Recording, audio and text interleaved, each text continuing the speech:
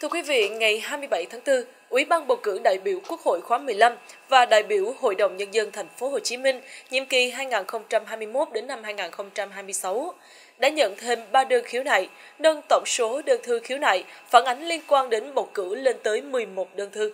Tại cuộc họp, ông Tân Hữu Phong, trưởng tiểu ban hành chính, Tổng hợp Ủy ban bầu cử thành phố Hồ Chí Minh cho biết, đến ngày 26 tháng 4, Ủy ban bầu cử thành phố Hồ Chí Minh tiếp nhận thêm 3 đơn khiếu nại liên quan đến công tác chuẩn bị bầu cử. Trong đó có một đơn khiếu nại về việc tổ chức hội nghị lấy ý kiến tín nhiệm cho người tự ứng cử đại biểu Quốc hội khóa 15 ngày 10 tháng 4 tại phường 9, quận 4.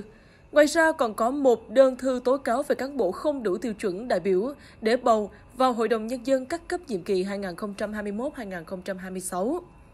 Đơn thư khiếu nại còn lại là về cấp phát thẻ cử tri trên địa bàn quận Bình Thạnh. Bộ phận chức năng đã hướng dẫn cử tri thông qua người giám hộ về thực hiện quyền công dân theo quy định của pháp luật.